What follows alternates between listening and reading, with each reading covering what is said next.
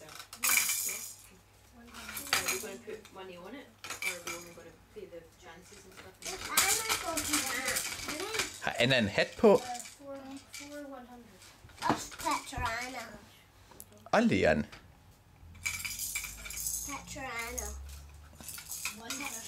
Skal jeg tage billedet af Anna Ja. Og Leon? Anna. Kun Anna?